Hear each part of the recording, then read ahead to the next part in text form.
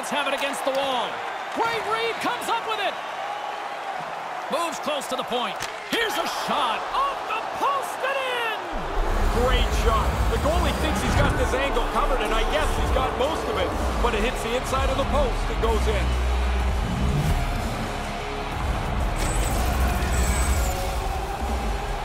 Uh, you'd expect that. The team's leading goal scorer finishes another one.